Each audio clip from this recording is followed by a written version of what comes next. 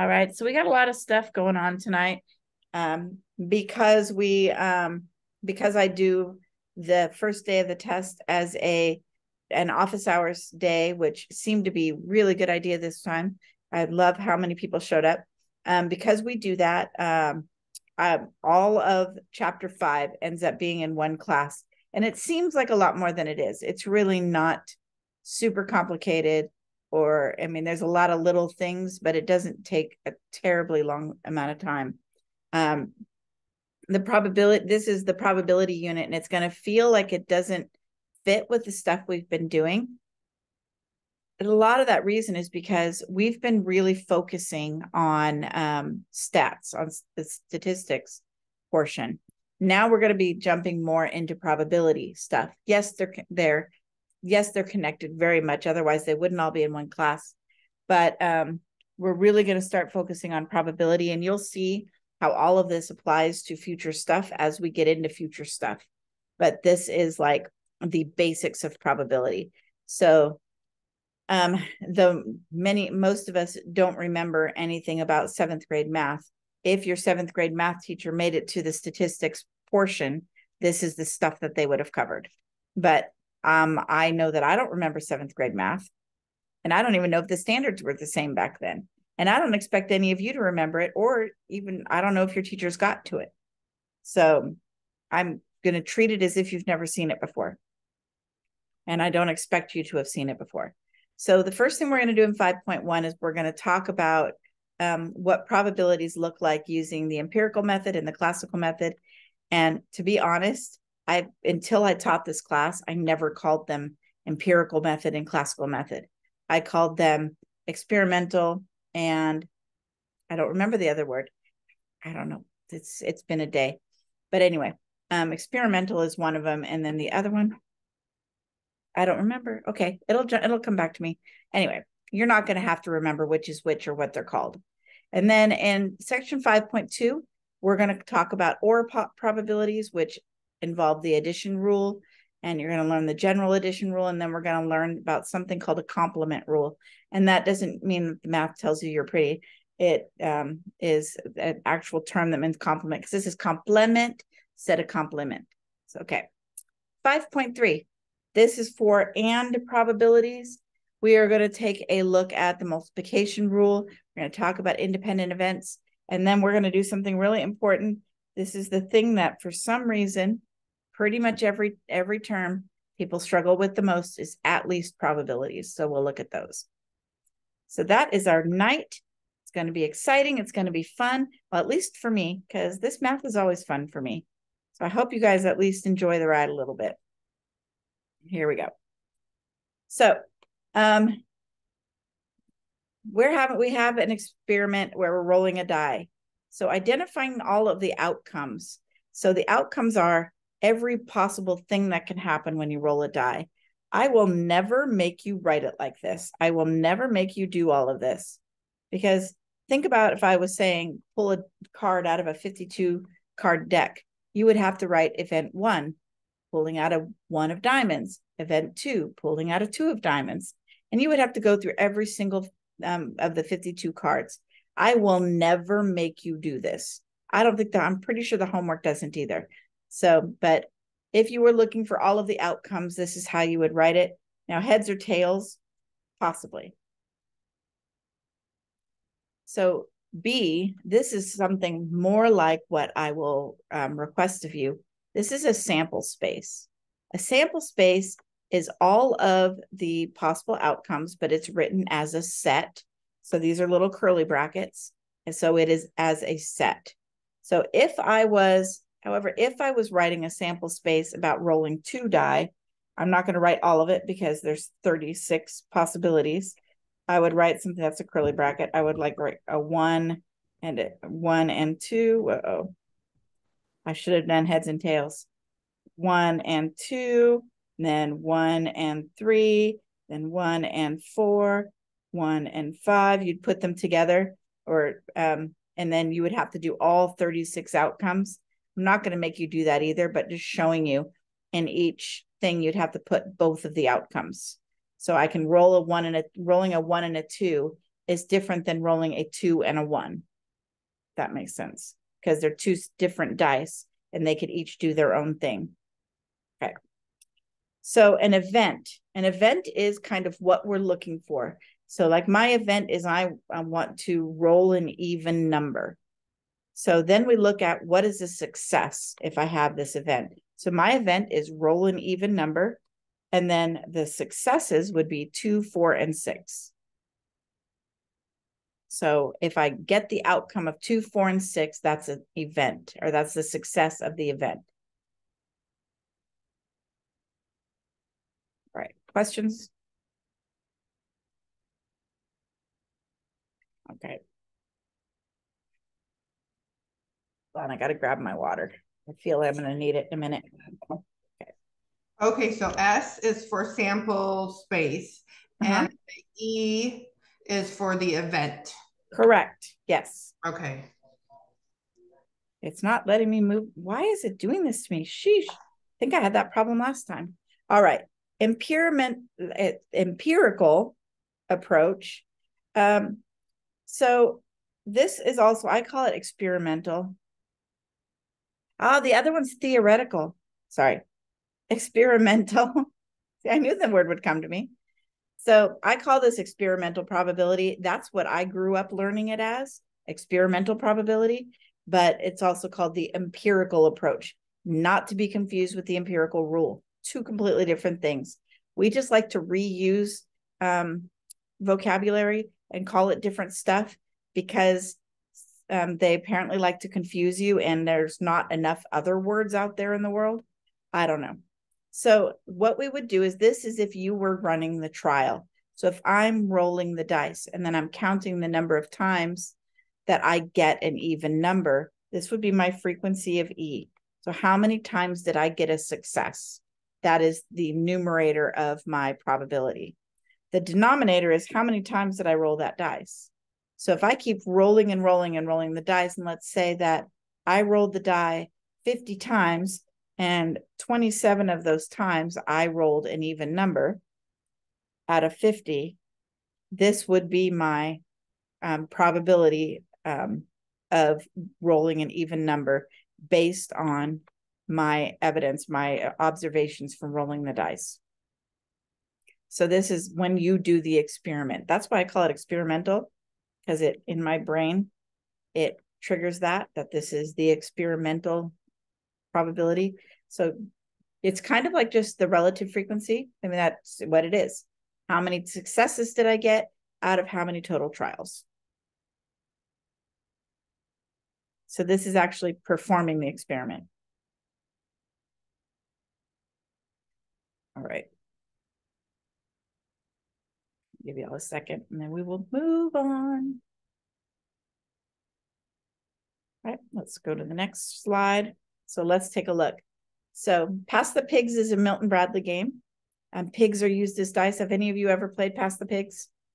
I had somebody like last term or the term before that had, and I had to go out and buy this game because it was like, this looks really cool. So there are six different ways that the pig can land when you throw it. You throw pigs instead of dice. so when you throw the pig, it can land a certain different a certain way. So a class of 52 students rolled pigs 3,939 times. The number of times each occurred is recorded in the table to the right. So that's our frequency. This is our frequency distribution model. And so we are going to calculate, yep, we're going to use these results to calculate the relative frequency or the probability based on our trials of each thing happening. I'm going to tell you, I have never rolled a leaning jowler. Never. I tried. I have never rolled that one. Okay, so let's take a look at this table. So we're going to build a probability model. So I take 1344 out of how many was it? 3,939. I hope that that wasn't, no. Okay. I'm going to do that math. 1344 divided by 39, 39. So this is 0.34 approximately. So you can leave the probability either way. Doing it this way allows me to look at, okay, 34% of the time. it's kind of more meaningful because we can actually use it for answering questions. Side with the dot, twelve ninety-four divided by thirty-nine thirty-nine. So it's about zero point three three approximately. The Razorback, seven sixty-seven. So you've all got this relative frequency stuff down. It is the same thing. It's just called a different word. And there's no, like, I, I usually do at least to, at least to two. Sometimes I'm gonna put one more there. Let's just do three. It doesn't matter. There's no like tried and true. This is how many you have to do. If I don't tell you, then you just pick a number. If I don't tell you what I want you to round it to, you can just pick a number. Three sixty-five divided by 39, 39.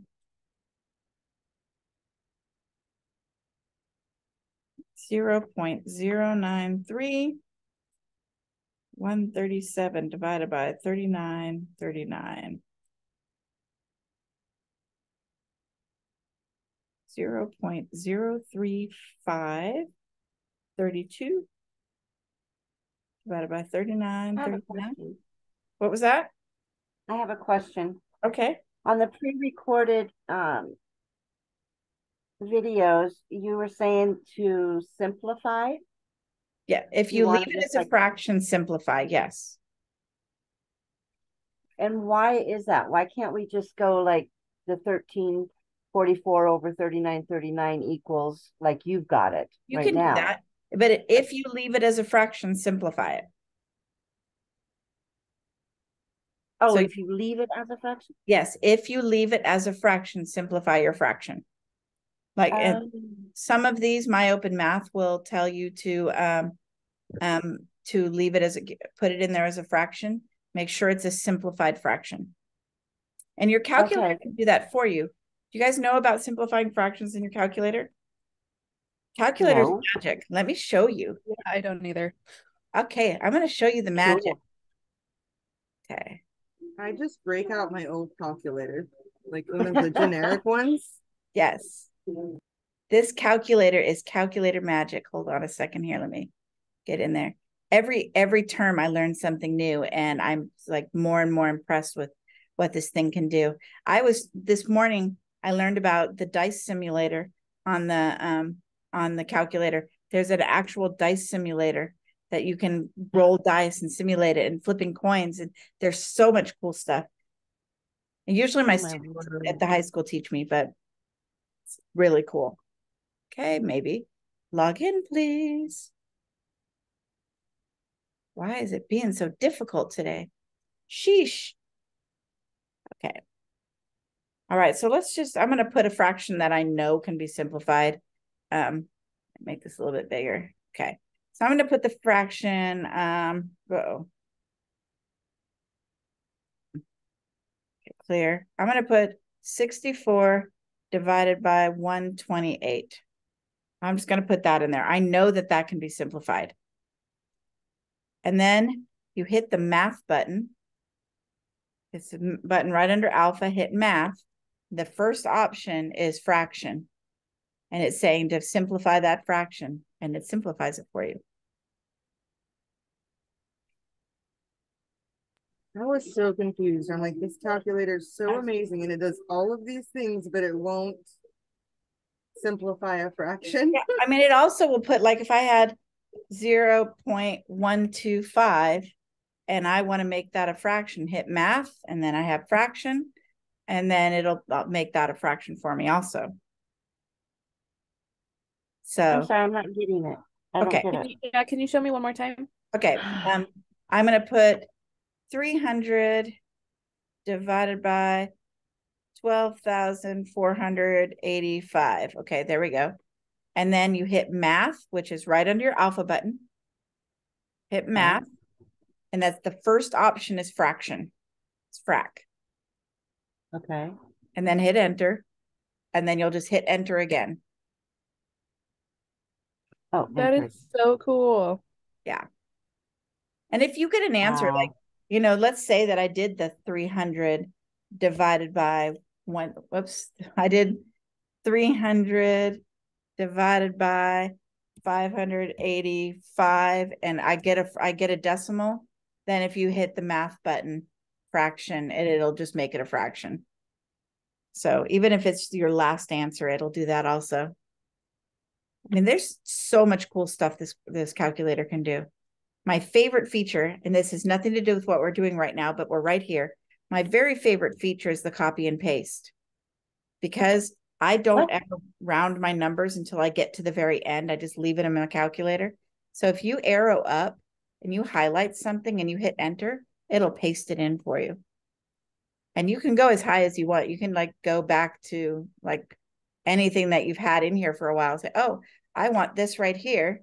And then, you know, it, it'll paste it for you. So copy and paste is really amazing. You just arrow up and So highlight, highlighting, okay, arrow up, highlight. and arrow up and just highlight something and then hit enter and it'll paste it. Oh my gosh. So frequently I will make an error. Like let's say that I was trying to do 15 minus seven and I did actually accidentally did 77 and I hit enter and I'm like, that's not what I wanted. I can go up and highlight 15 minus 77 and then go back here and hit delete and delete that. And now I can do my actual correct math. So you can go up and fix a typo. Ah, I So- also love to I love to use that when you're doing like a, uh square root or something like that. It makes it so much easier if you can just simplify the answer under the radicand and then enter it in. I find Yeah. that makes it way quicker. The fact that you use the, the word radicand, I think you just earned an A. I'm kidding. Kidding. Well, that, yeah, it would have made math ninety-five so much easier. Yeah, that trust me, there's so much here, and uh, there's no way I could teach you all of it, but I'm just trying to teach you my favorite little things whenever I have them. So there you go. There's a couple of my favorites. I'm going to move on now. Go back to probability. Okay. So this is a probability model. So this, it'll have the um, outcomes along the left. And then I don't care if the frequency is in the middle, that's not so important, but it's helpful. And then you have your probabilities along the right. This is a probability model because it shows all of the probabilities of every outcome that you can have. And so now the last Are you question, gonna, what was that? Go ahead. are you gonna want us to just leave it like that, or do you want the percentages? I'm leaving. Or will you specify? just leave it just like this. So be careful with my open math because they will tell you, um, be, they will want fractions sometimes. They will want decimals sometimes. They'll want percent sometimes. So just pay attention to whatever they're asking for. So the, the probability of somebody throwing, throwing a side with a dot, that would be right here, about thirty-two point nine percent approximately. And you can answer probability, uh, you could say zero point three two nine, or you can say twelve ninety-four out of thirty-nine thirty-nine. I don't care how you answer it. Um, personally, I don't care, but my open math does care and they'll tell you how they want it. For the last question, would it be unusual to throw a leaning jowler? So you may recall from way, way back when we were looking at the empirical rule. Remember, everything outside of the two standard deviations is um, an outlier. That's anything that's not in that middle 95%. So anything less than 5% probability of happening is an outlier or is an unusual value. So it's just the rule of thumb. If it's less than 5% chance of happening, it is unusual. Leaning jowlers right here, that's less than 1%. It is definitely unusual. So would a would a snouter also be less than five percent there because it's 0.03? Yes, it is. It is also, it's three point five percent, so it is also unusual. And trust me, it is another thing that's really hard to throw, and I've never thrown one of those either. I've only played it a couple times, but uh, I have never thrown either or seen either of those thrown. I've like set it up that way on my own because it's fun, but I've never been able to throw it. And none of my students either. We just play just to play, and they've never thrown them either. And I really am dying to see it actually happen. So, It's a cute game. It's not very expensive. I recommend it.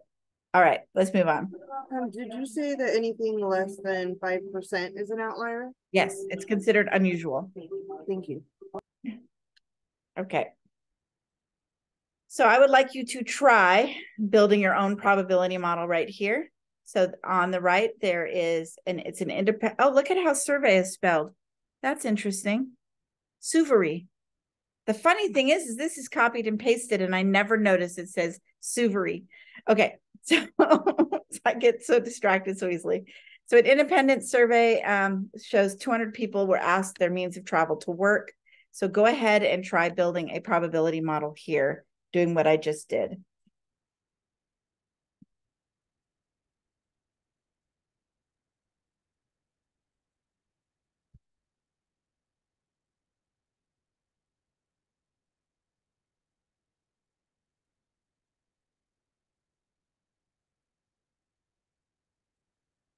I'm going to build it quietly behind you. So if you get lost or stuck, then you can um, check my work, check against mine, or catch me in a mistake because that happens too.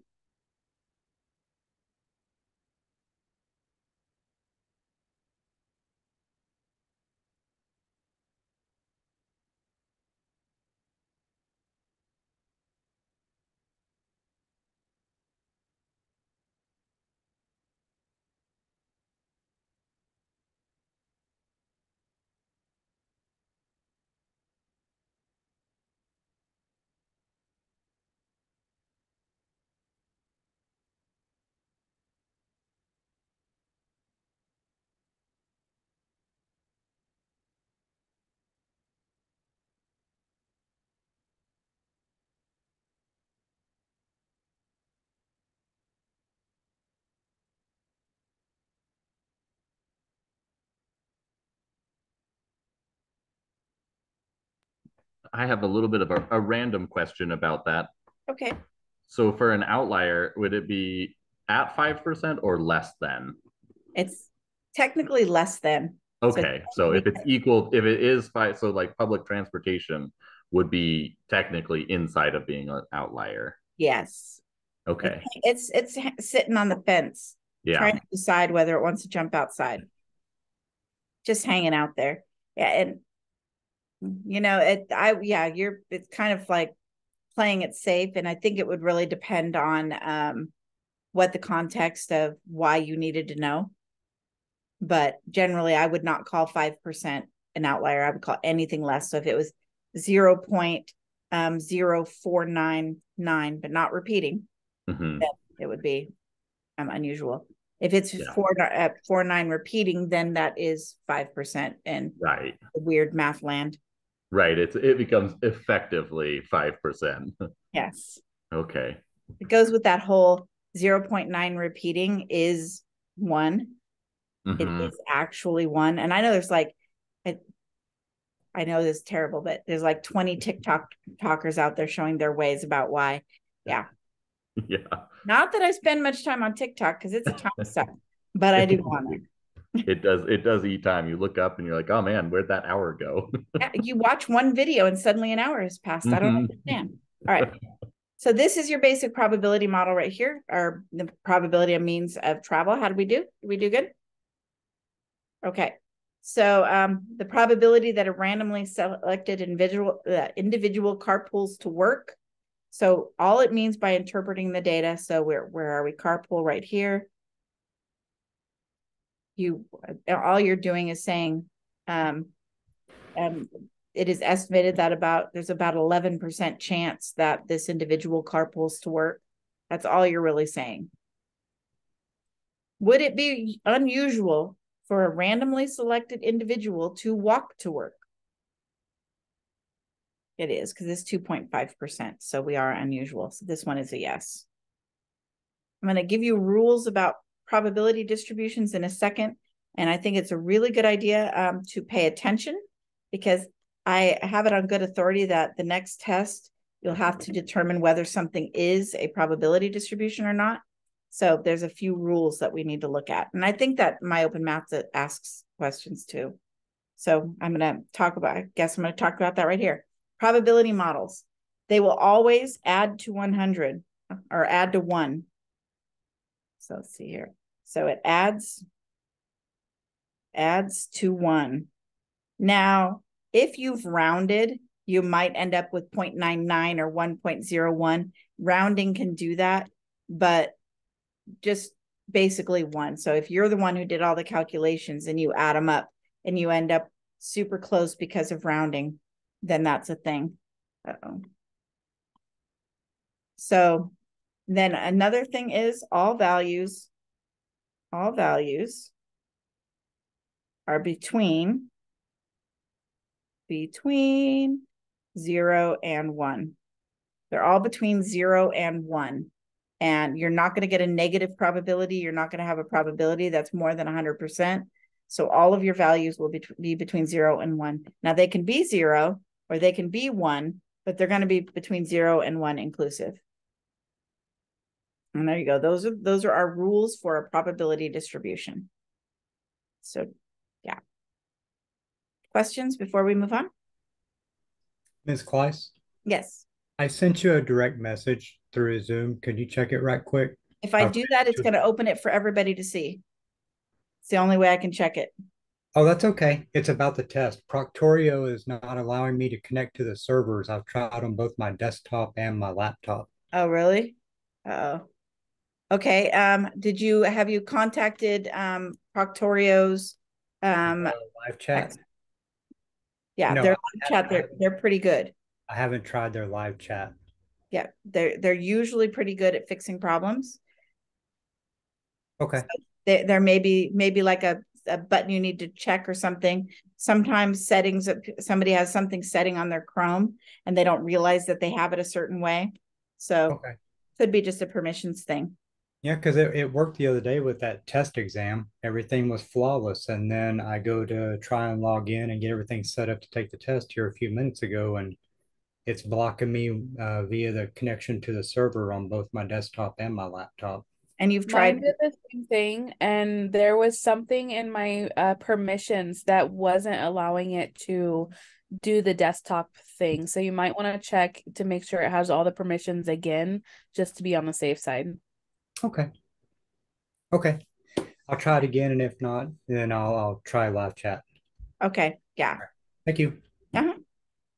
Good luck. Fingers crossed for you. Okay, let's go to the next page then. Okay, so um, the classical method of, of, of the classical method requires equally likely outcomes. You're not going to need to memorize that. We're going to move on. So, what it is, every event has to have the same probability of occurring in order to use the classical method. Um, this is also theoretical probability, but every every event has to have the same um, probability of happening. So that's the other word is theoretical. Theoretical probability. I, I'm just happy. This is the other word for it that I learned it by. And for me, it just makes more sense because it's theoretical. It's based on mathematically what should happen rather than on the trials you did. So I don't care if you remember that it's theoretical, but in my brain, that helps me. So I will throw it out and you can grab it or just let it go. All right. So here we go. So this is the theoretical probability or the classical method. So the numerator is how many ways can E occur?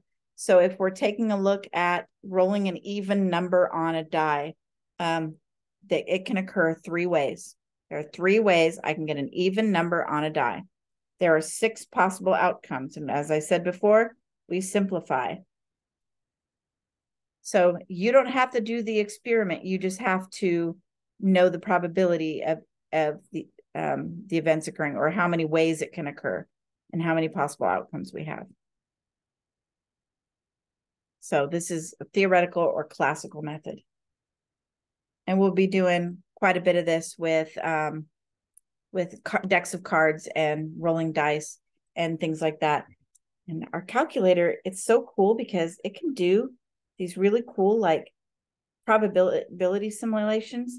It can toss coins, roll dice, pick marbles, draw cards, random numbers, spinning spinners. It is so cool. Sorry. I will put my calculator down, Klise, step away from the calculator. All right. Let's math it up a little bit. Suppose we had a fun-sized bag of M&M. And there's nine brown candies, six yellow candies, seven red candies, four orange candies, two blue, two greens. So we're going to randomly select a candy. But every single candy in the bag has the same probability of being chosen. So let's count how many we have. I have nine plus six is 15, plus seven is 22, plus four is 26, 27, 28. There's 30 candies in this bag. The probability that it is yellow would be, there's six yellow, would be six out of 30, because there's six ways we can get yellow out of a total of 30 candies. And then we simplify it because that's what we do with our fractions and get one fifth.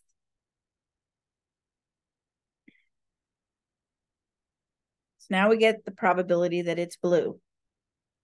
There are two candies in here that are blue out of 30 candies. And that is 1 15th because we simplify our fractions. So letter C just says comment on the likelihood that a candy is yellow versus blue. So there's a th three times, three times better chance of grabbing a yellow than there is of grabbing a blue. That's all it is. It doesn't want any super fancy stuff. It just three times like more likely to grab a yellow than a blue. Questions? All right, moving on up. All right, so the first thing we're going to do, we're going to calculate where a pair of fair dice is rolled. We're going to calculate the probability of rolling a seven. One thing I love about this setup here is that the same numbers are on a diagonal. So here's all my sevens. So there's 36 outcomes, and here's all my sevens. So it's one, two, three, four, five, six. Six ways to get a seven. So we do six out of 36 or one sixth. Thank goodness these are easy fractions. I don't want to have to pull my calculator out to simplify them. I mean, I will because we have the power now, but I don't want to have to. So I mean, I've been in classes before where people don't know what snake eyes is because apparently it's not super popular to say that anymore. Um, just you know, it's me being old. I say it to my grandkids though; they know what snake eyes is, but it's also because I'm old. But anyway, snake eyes is just rolling a two. That one? Yep. Huh. Did you know what snake eyes was, Caleb? I did, yeah. Okay, good. But I'm uh, I I hang out with people over my age, so Yeah, it's it's strange how some of these Gen Zers don't know what snake Uh, eyes. are. yeah. The other day I mentioned the Princess Bride and got a blank stare and was completely What? like lost. That's like one of the most perfect movies of all time. Everybody Exactly. see that. Okay, there's one out of 36. See, I get sidetracked so easily. One out of 36 probability of rolling a snake eyes. So letter C, all you're saying is that there's six, you're six times more likely to roll snake eyes than roll a seven. Just makes sense? Are we good? Okay. So this is the basic stuff. We are going to add some stuff to this because I wouldn't be me if I didn't add more stuff to it. So that's what I'm going to do. Now, that's what we're doing now that we're at 5.2. So if you keep track of that sort of thing, we're moving on to 5.2 right now. All right. So two things are disjoint if they don't have anything in common. Sure, you've all heard of mutually exclusive. So mutually exclusive means that they don't have anything in common at all. Like being a teacher and having a million dollars, those things are mutually exclusive. couldn't help it, just couldn't. Okay. So if I roll a dice um, one time, I can't get both a three and an even number. So those things are mutually exclusive. Sometimes I just can't help myself, you know? All right. So the addition rule, if the two things are mutually exclusive or disjoint, you just add the two probabilities together. Notice that it says or in between them. So the probability of getting E or F, frequently I'll just refer to this as or probabilities. I won't call it the addition rule. I'll just call it or probabilities because that word or is there. So like the probability of rolling a three or rolling a five would be two out of six or one third. So you just add them together. And I highly recommend keeping your common denominator until after you add them and then simplify. If you simplify first, it's not as much fun. However, your calculator can do the math for you. And I mean, that's always fun. Playing with the calculator is always fun. Okay, moving on. What does F mean? F, so the probability, of, it's just another event because I can't put E and E. I could put E1 and E2, but it's just another variable. Okay, all these is. Nope. Yeah. Yeah. So like this right here, I just went down the alphabet, the probability of E, F, or G or more. So if I have like a ton of different things, but they're all disjoint, then you can just keep adding those probabilities together as long as they're all disjoint. Okay, thank you. You're welcome. Okay, let's do some math here. Oh, this, okay, okay. The probability model here shows the distribution of the number of rooms and housing units sold in the US. I'm not going to have a four bedroom unit that's also a seven bedroom unit. These things are mutually exclusive. So first thing we do to verify that it's a probability model is we would add all of these up and make sure they add up to one. And then we're going to look at this and make sure that they're between zero and one. Those are the two things that we need to check. So there's my two things right there. I checked both those things. All probabilities are between zero and one, and they add up to one. Okay. Moving on. So now we want to know the, the probability a randomly selected housing unit has two or three rooms. So I want this probability and this probability because they're mutually exclusive and this is a probability model. I can just add those two things together. Is that going to show up? Nope. So I will do 0 0.032 plus 0 0.093. I'm going to use it in my calculator because I'm not really trusting my math right now. So it would be 0 0.125. So about a 12.5 chance of a randomly selected housing unit having two or three bedrooms. Make sense? Questions? So with the sorry, with letter A, Mhm. um, you add them all together and then you would equals it you would it would equal one and if it equaled one then that's means that it's uh inconclu- inconclusive.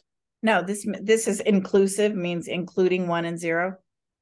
It Okay. inclusive means it means one and one and zero are included. So if it adds up to one, these are the two things. It has to be between zero and one, and it has to add up to one. These are the two things that we check off to make sure it's a probability model.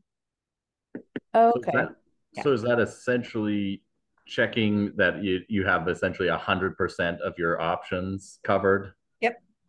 Okay. Yeah. Thank you. You're welcome. All right. How are we good on this page? And I was just gonna say, like, obviously, if one of those probabilities listed had a one in it, then once you added it all together, it wouldn't equal one.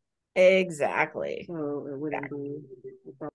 Right. So, I mean, it's, you're rarely going to see one that has a one in it. You will occasionally see something that has a zero in it. Um, but most of the time you won't see a one because that would be really boring. And what kind of math are you going to do? So it'd be really boring.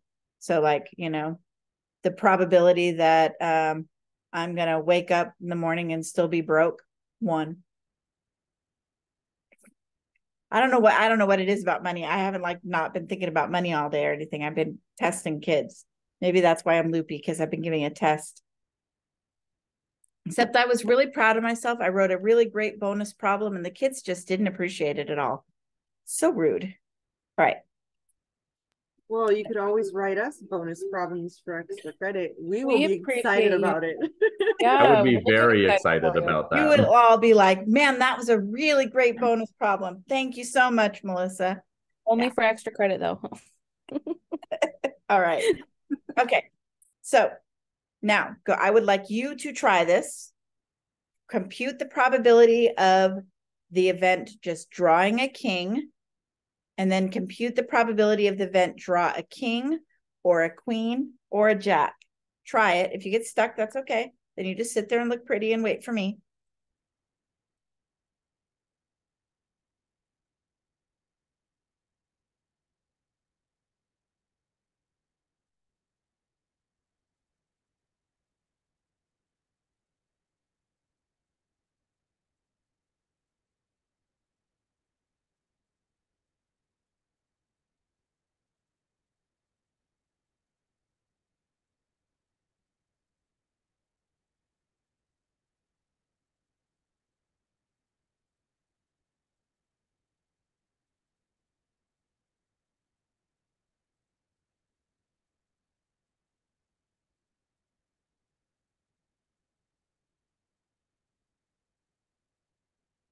Solved it quietly. So if you need to check, you can check. So I got zero point seven six nine for A. Did is that just because you kept yours a uh are Yeah. we keeping the fraction or I generally keep them fractions unless some, yeah, I mean, I, I got the same for for A. I mean, I usually keep them fractions, but it, you don't have to. But I usually do just because fractions are more accurate than, than rounded decimals. So I usually just keep them fractions unless I need them for decimals for some reason. Mhm. um would it be a pain in the butt for you to show me how to do that enter that in into the calculator again on how to make something a fraction? Okay, so do you need me to show you or can I just tell you and see if it works? Yeah, can you just can you just uh, tell me? Okay, so um, is the, the last number you got, the zero point seven six nine, is that still hanging out in your calculator? Yeah. If it's, is that the last answer you got? Sorry, what was that? I'm Why don't at you my just- kid. Okay, arrow up and highlight it and then hit enter. Okay. Okay, now hit the math button.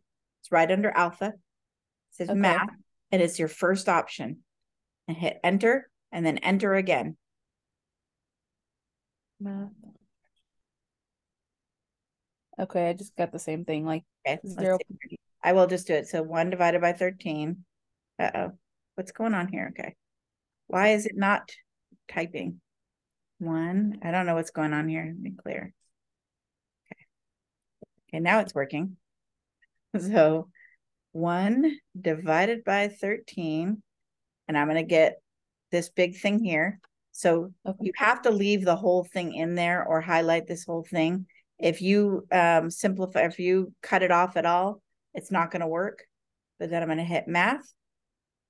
Choose the first option and hit enter, and it'll give me my fraction. oh, okay. All So right. if you typed in zero seven six, whoops. Zero, point zero seven six nine, you're not gonna get a fraction out of that because it's probably not a good fraction. You have to actually leave the whole thing in there. Yeah, see. So you actually Okay, have so to leave it if in, it's not a good fraction, it's not gonna do anything. right. Okay, that's probably why it wasn't working earlier for me. Yeah. Thank you. You're welcome. Yeah, I'm most of the time I just leave them as fractions just because it's more accurate. And I kind of like fractions, but unless I tell you the way you have to leave it, you can leave it however you want.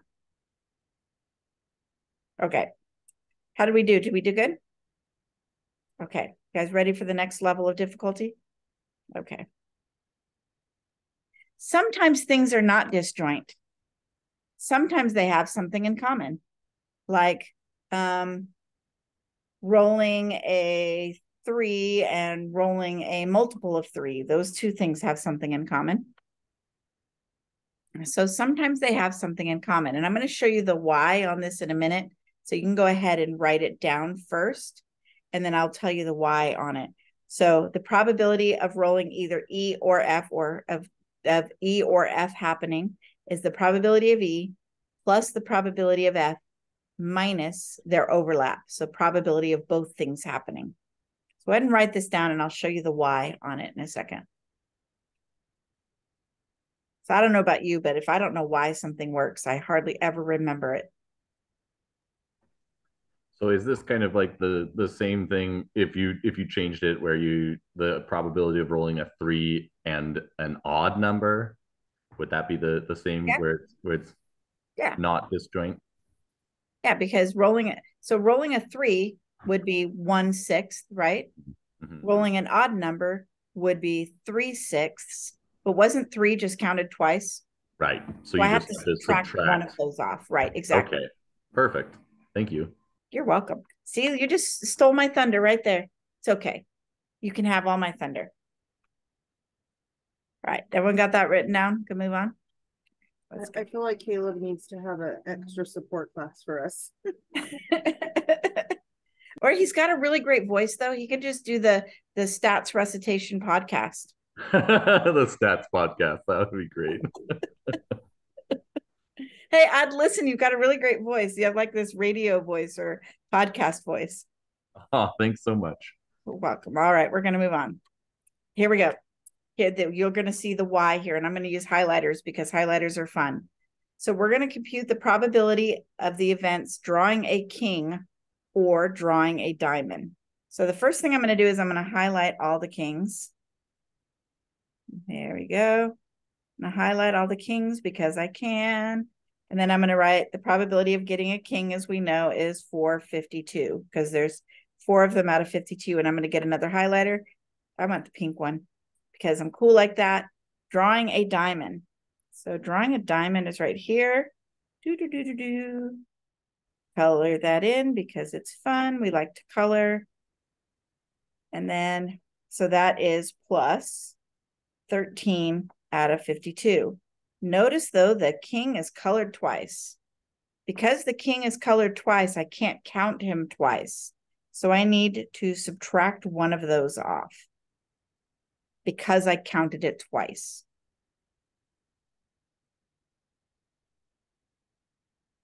So then you just math it out. This will not, I don't think this will be simplifiable. No, it will be because I'm going to have four plus 13 is 17 minus one. I have 16 out of 52, which is 826, 413. Doesn't seem right. Is that right? 16, 826. Yeah, it's four thirteenths. Sometimes I just don't trust myself. Does that make sense? Questions? I'm just so excited about the calculator turning it into a fraction. if you learn nothing else in this class, that's what you're going to take with you, right? I hate fractions. So, and the thing is, is it's like adding fractions and subtracting fractions. You just do four divided by 52 plus 13 divided by 52 minus one divided by 52, hit enter, and it'll give you a really ugly decimal. And then you hit that math, math fraction and ta-da, you'll have four thirteenths. So put it all in there. It'll, it does this, it'll do everything. I haven't figured out how to get it to wash my car yet, but I'm sure that it's in there somewhere. So as soon as I learn, I'll teach y'all. Okay, next one. Let's do let's do another one. I would like you to try this one. Um, hopefully you printed off the PowerPoint. If you don't, didn't, you don't get to highlight fun things. So the probability of rolling a multiple of six or rolling doubles. So your multiples of six would be six and 12. Wait, six. Yeah, six and 12. I'll highlight, I'll do this for you. That's not six, that's five. I can't count. Here's sixes. And here's a 12. The PowerPoint says, or rolling a multiple of three. Yes, I changed it because I didn't like that one. It wasn't as exciting as this one. Okay, I will change my PowerPoint paper. I left it on the PowerPoint because that's the one with the pre-recorded video. And so it's still there. Once I re-record that video, then I'll change the PowerPoint also. But since that goes along with the pre-recorded video, I haven't changed it yet. It's okay. I was just giving you crap. Please do. Please do.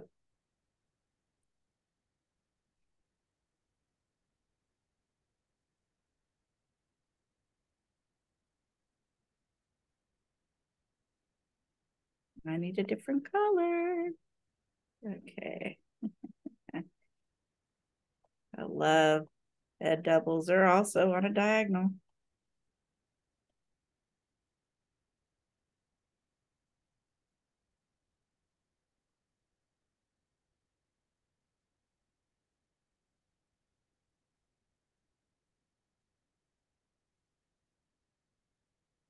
My overlap here because I like pink. You'll highlight the overlaps pink. Okay. And make sure that if I do something wrong, y'all tell me. So I have 10 out of 36, which is 5 eighteenths.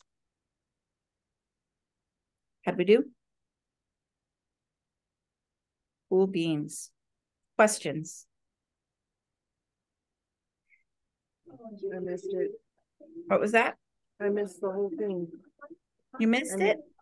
Yeah, I got it all wrong. Okay. So when it says double, I have, because I only calculated what you had highlighted in red. Oh, okay. And This is so, or though. So you have to you have to look at all the doubles. okay, So when I'm doing this part right here, I treat them as two completely separate things. So one of them is just the probability of rolling a multiple of six. So you only look at the sixes. And then the other one is a completely different event, rolling doubles. And then the, this one is where you bring them together. How come you did six over thirty-six plus six over thirty-six when the sixes, the dice sixes were five? Because I can't count. Thank you. Yeah, If you were in my high school class, I would have thrown candy at you right now. yay. Whenever somebody catches me in a math error, I throw candy at them. So nine out of 36. So that's one fourth. Is that better? Thank you. You're welcome. Make sure you're always catching my mistakes. Okay. That's another example of your math teacher is human. Other questions now that we have the correct math? Wait, but isn't um the rolling a multiple of six Uh-huh. six instead of Oh, five? it was six. Yes. so you were right, I think, at first. ah, see you guys? Yeah, it was it was getting me. It was taking me a second to figure. I was like, I I counted six as well. So You know Wait, what? wait, now I'm lost. Yeah. Okay, What hold on. I'm gonna go back and fix it. Just a second. I, I will, we're gonna do this again. You know, we're just gonna chalk this up to, we are all really tired. Yep, there's too Okay. much sun. So let me, let me get my highlighters out again. I'm gonna clear a bunch of these pen marks. And we're gonna, we're gonna do this again. Okay, I'm gonna get out my highlighters. We like blue. So here's all of the things that are a multiple of six. So these ones are all sixes. But then twelve is also a multiple of six. So that is six. And then with my pink highlighter, all the things that are double. So we got the six out of six. One, two, three, four, five, six.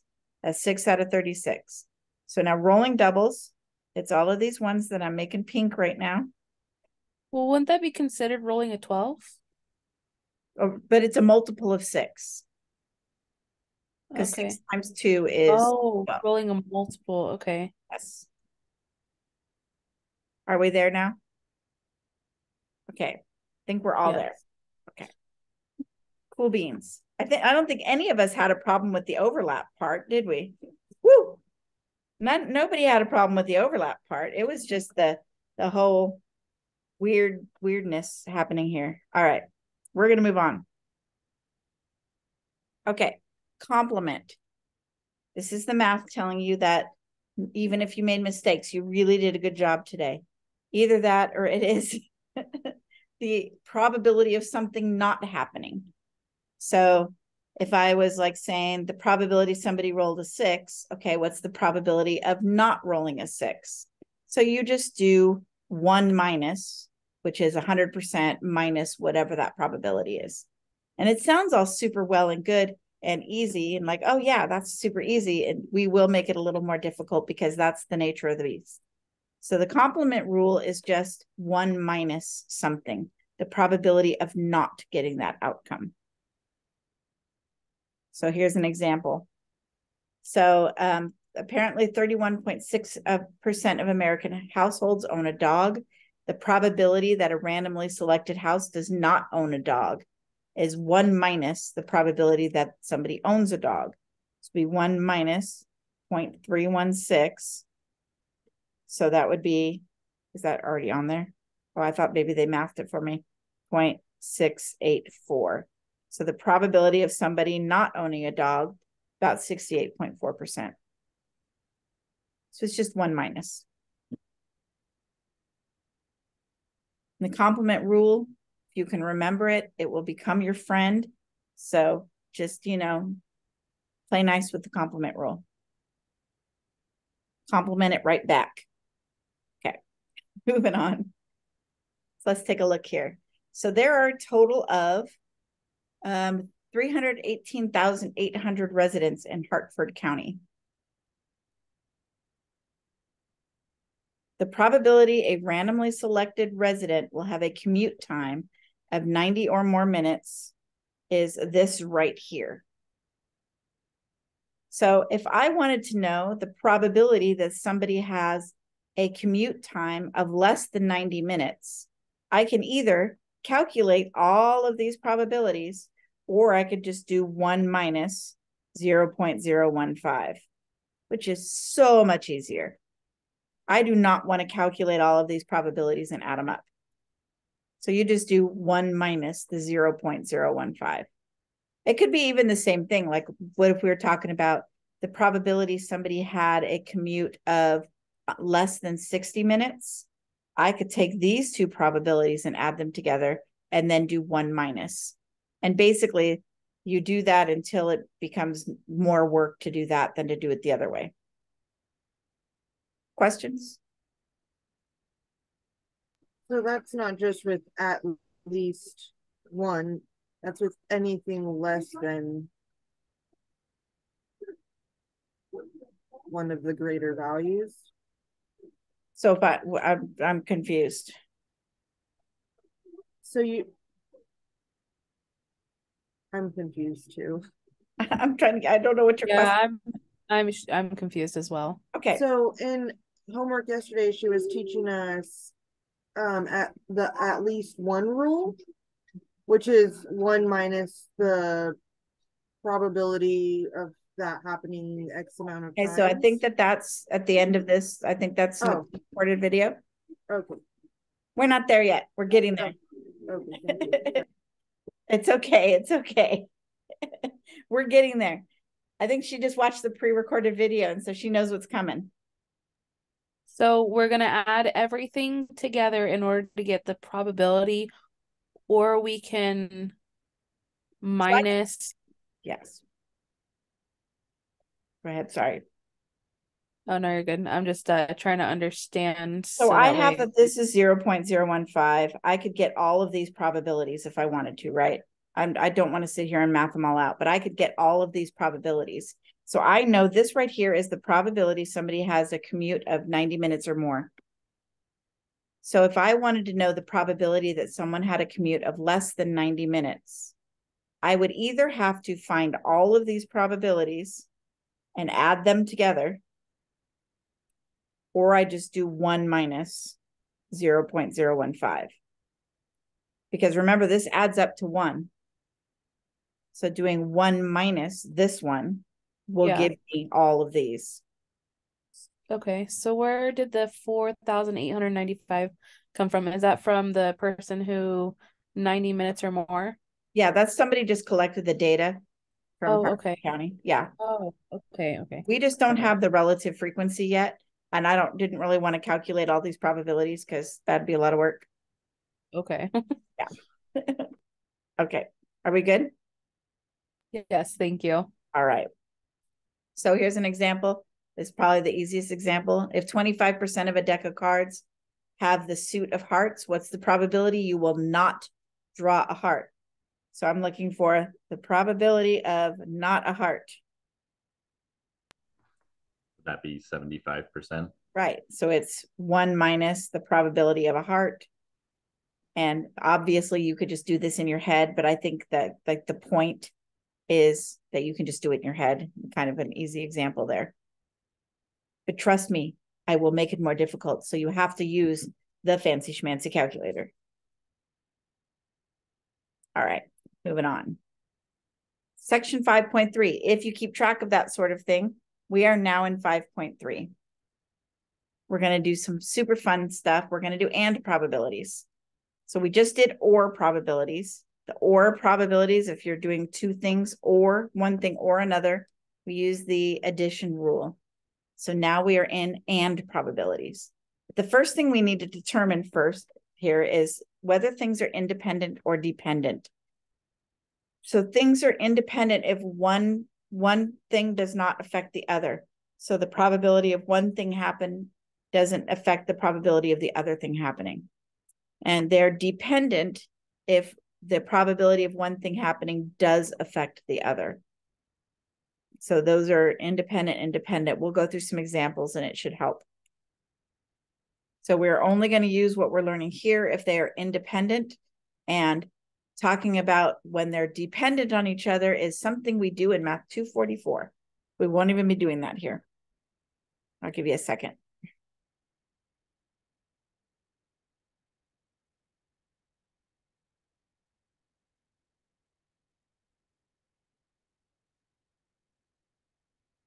Think we're not too far from the end. Yeah, we have nine slides left. We're doing awesome. Okay, move on. Another moment. We're good. Okay. So independent or not. So here's some examples. Suppose you draw a card from a standard 52 deck of cards, 52 card deck, then you roll a die. The events draw a heart and roll an even number are independent. So me drawing a card out of the deck is not going to affect what happens with the dice. Those are independent. And that one's kind of obvious. I'm going to get it less obvious.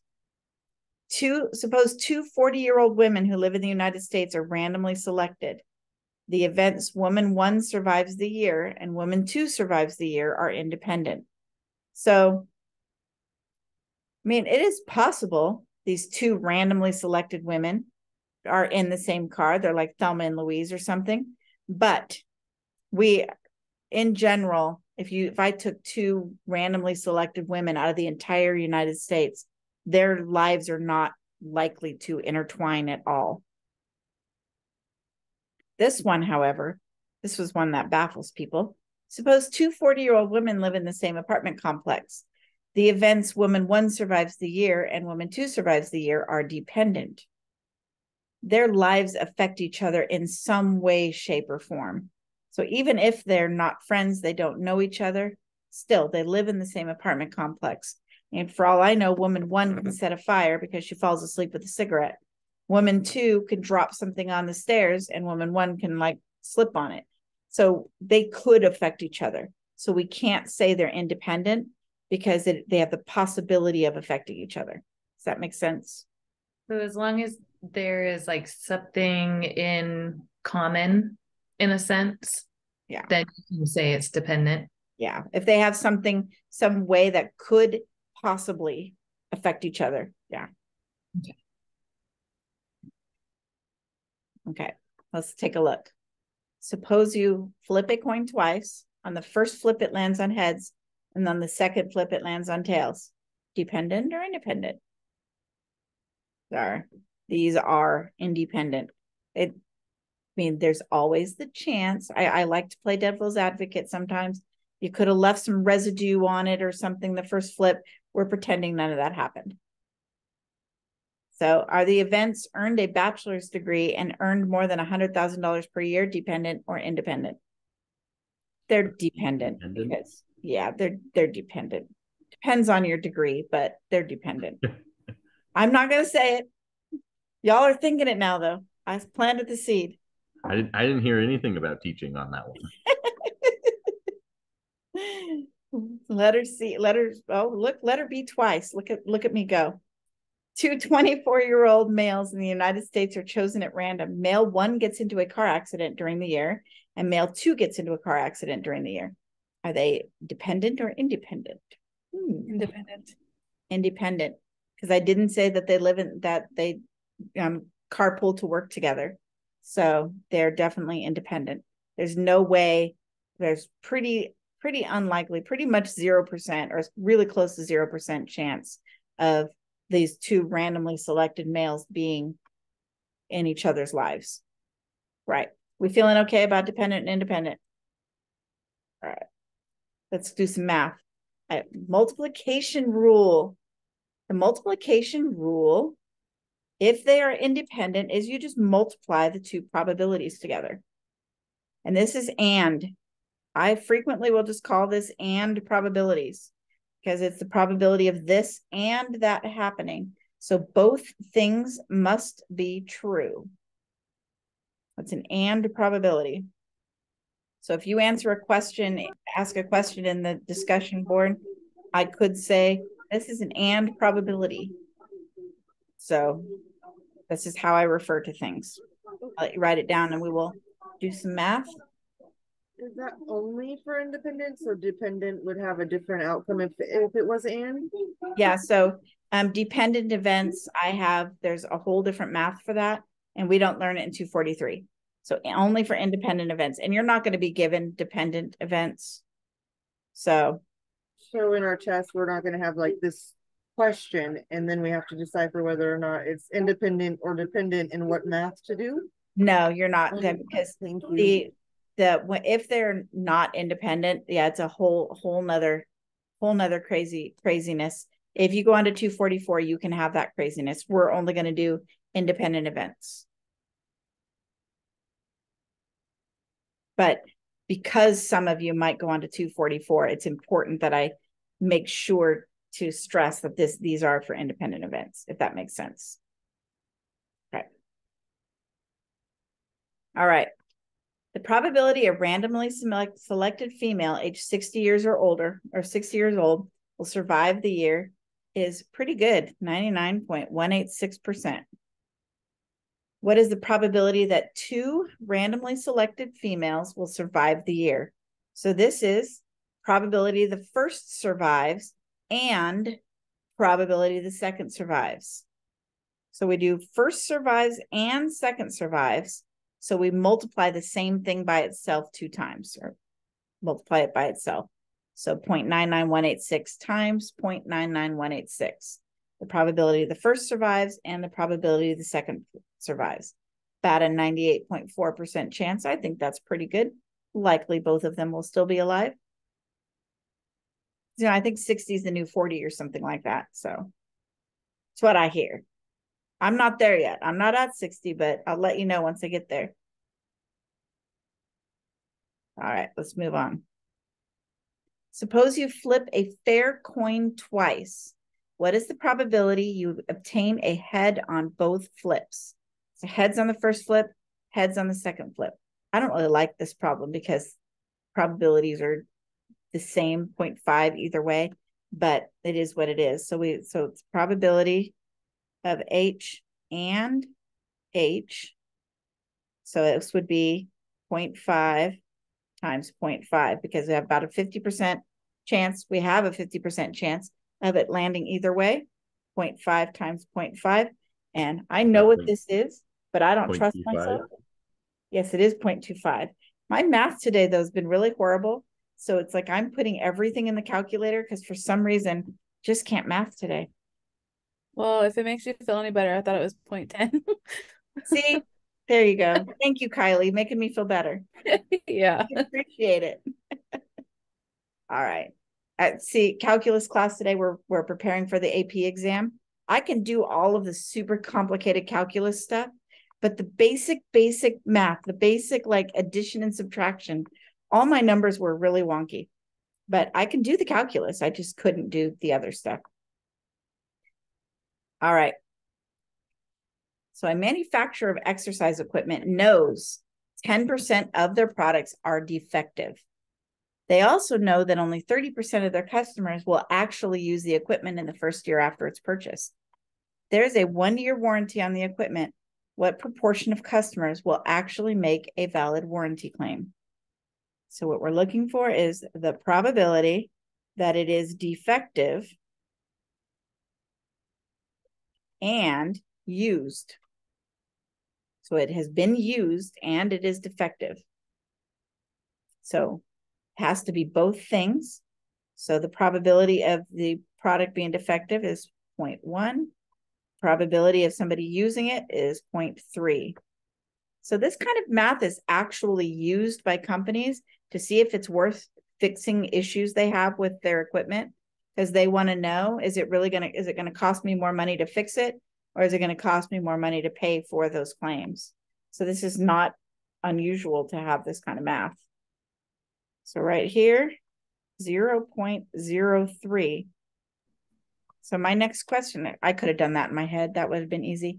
So my next question to you is would it be unusual for a person to both use the equipment in the first year and it be defective?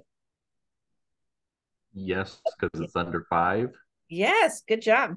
It's less than 5%. So, yes, it would be unusual. So, they probably are not going to pay the money to fix their equipment or whatever's defective about it.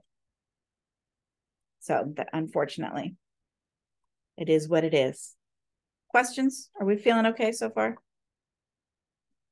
Good, good, good. Oh, look at that.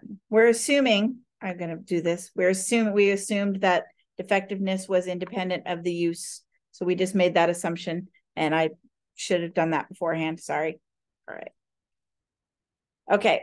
I want, I want you to try this one on your own. The probability a randomly selected female that would like if I randomly selected four females, what's the probability that all four of them will survive the year? So go ahead and try this one on your own.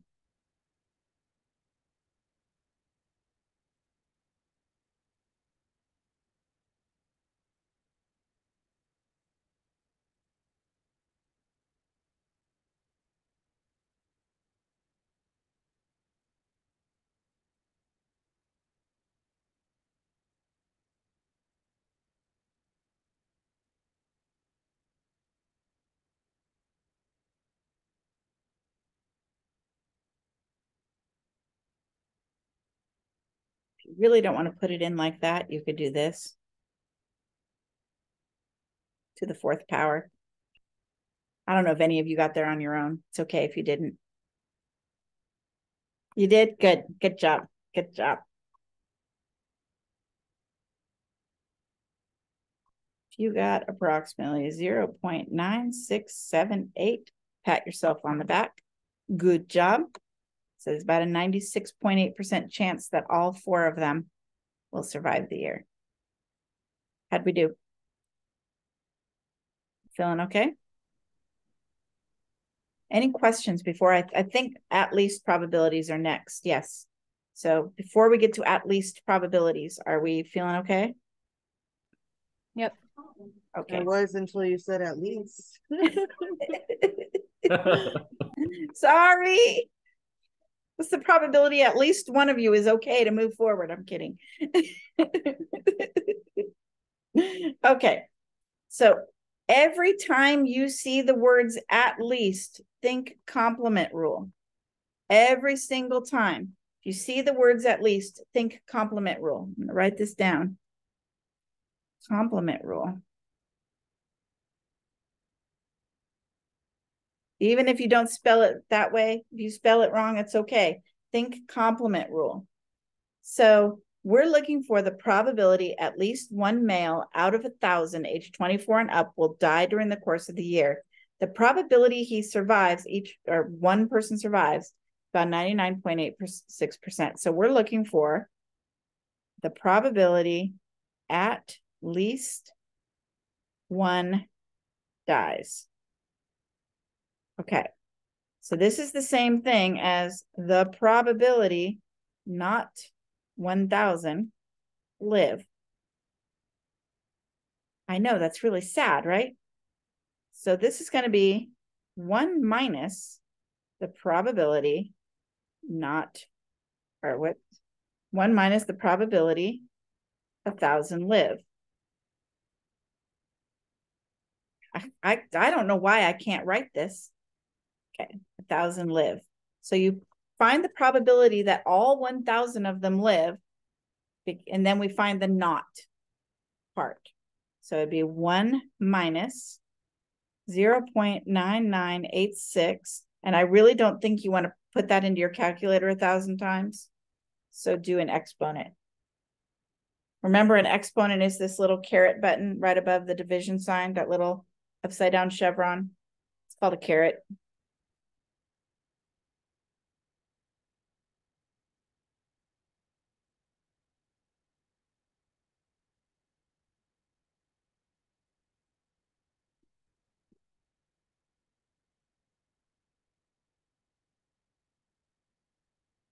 I got zero point seven five three six approximately.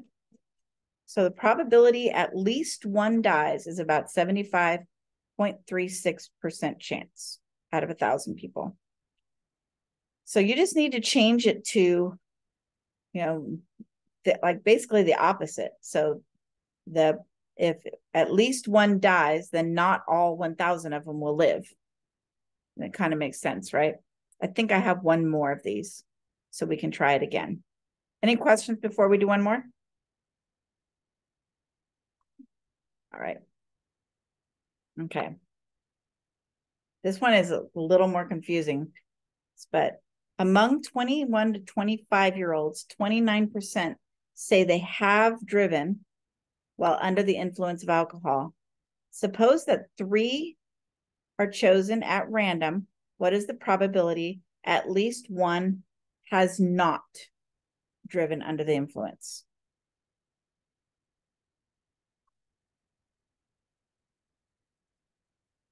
See if you can figure it out. I'm going to give you a minute and then I'll help you. I will write.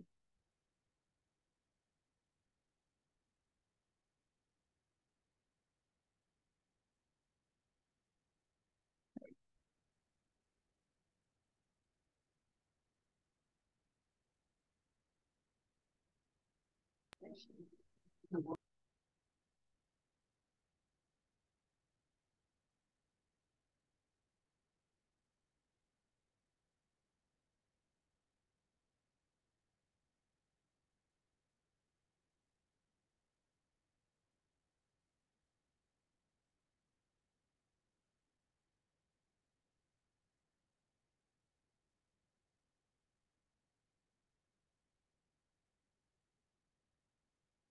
There's your setup. If you if you didn't get the setup, there's the setup.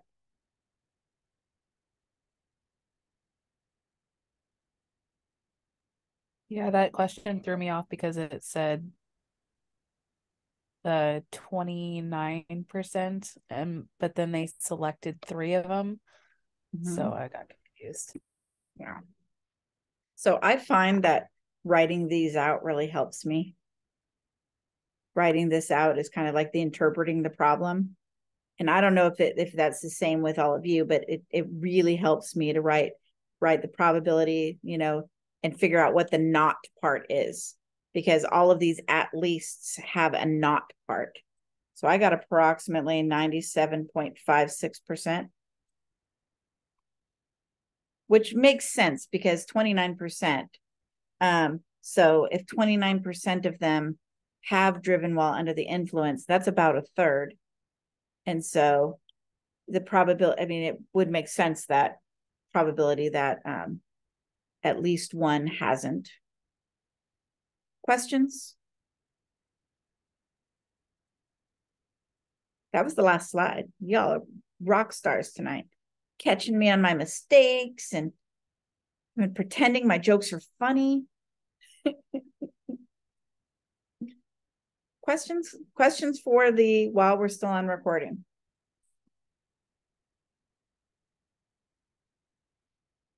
All right, I'm going to unrecord. I'm going to stop that.